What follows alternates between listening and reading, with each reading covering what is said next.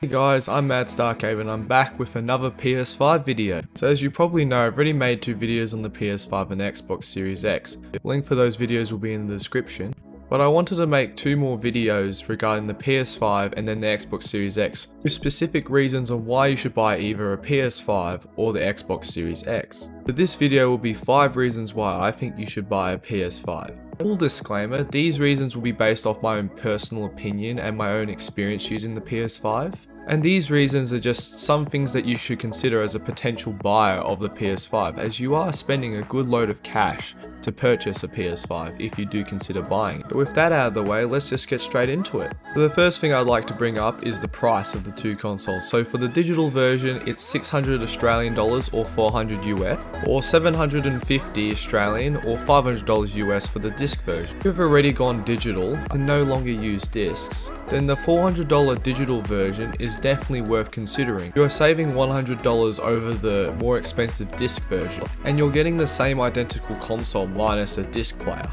That $100 that you save you could potentially put towards games, accessories. That is the first reason why you should consider buying a PS5, specifically the digital version. Second reason I'd like to touch on, and probably one of the most important reasons, is for PS5. So presently there are a lot of great exclusives on PS5, most of them are carryovers from the PS4. Such examples include The Last of Us, God of War, Until Dawn, and of course Spider-Man. However, right now you can currently buy Spider-Man Miles Morales and Spider-Man Remastered and Demon's Souls the latter of which is a PS3 remaster but still an excellent showcase for the potential power of the PS5. And in the future you have Horizon Zero Dawn 2 Forbidden West, Ratchet & Clank Rift Apart, Gran Turismo Sport 7, Deathloop which is a time exclusive, God of War 2 Ragnarok, Ghostwire Tokyo and Final Fantasy 16 all coming in the near future. Something that a lot of people don't touch on with these exclusives is there's a great variety of exclusives on PS5. If you're into horror, first person shooters, zombies,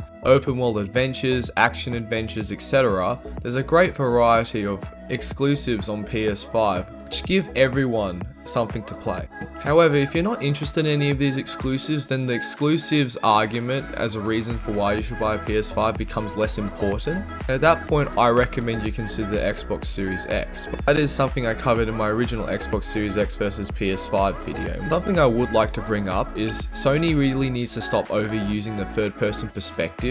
What I mean by that is you have a lot of Sony first party games that all use the third person perspective, such as Days Gone, God of War, The Last of Us, and Uncharted. And all these games are starting to feel a bit samey. It's not a big deal, but it's something I'd like to bring up regardless, and I'd just like to see where Sony goes with their first party exclusives. Maybe they'll have some more variety in this regard, because if all their first party games start to feel the samey, that kind of devalues them. But that's just my opinion. The next thing I'd like to touch on, and the third reason, is the UI of the PS5. PS5 does have a very intuitive UI that carries over the user-friendly UI from the PS4 while innovating and improving on some key aspects. Some of these aspects include activity features, which say how long a player may have to take to complete their current mission, or different levels for example. There's also a new explore feature, however this is only available in the US of right now.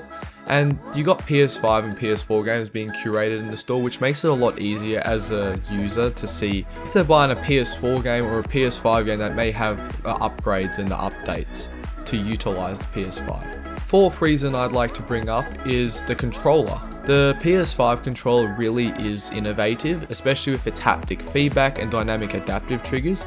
Feature still currently is only limited to 24 games, but as it becomes more widely supported by video games coming out in the near future, I feel like this is something that Xbox will also include. Will definitely contribute to the immersion factor that people feel when they're playing games, especially when it contributes to making you feel like you're actually handling whatever weapon you're using. Insert politician saying games make people violent right here. Something I do want to mention about PS5 control and something that will make people angry is that there are some reports of the PS5 remote's breaking, especially the triggers at the back because people are clicking them too hard.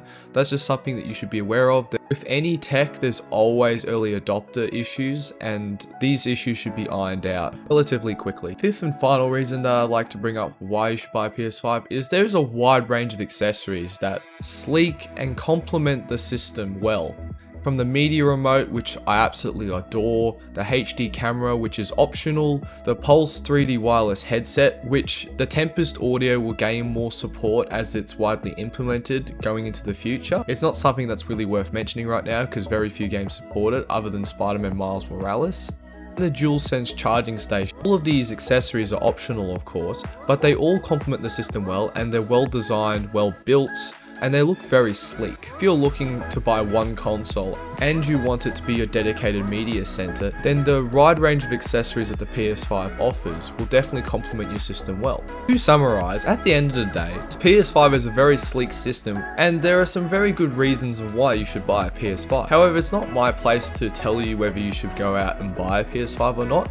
It really does depend on your own personal preference. This console generation specifically, the PS5 and Xbox Series X are so close to each other in terms of specs that it really does become what do you want at the end of the day. If you're interested in the exclusives in the PS5 and you like the UI, the controller and the wide range of accessories, by all means buy a PS5 when they finally come back in stock in about a month or two. However, do not buy them from scalpers. That's all I ask of you. Thank you for watching the video. If you agree or disagree with me, please leave it down in the comments. If you liked the video, please leave a like. Subscribe to my channel if you want to see more content. I should have another video up soon about why you should buy an Xbox Series X. Until then, you'll see me slogging through Quantum Break and Gears of War 5.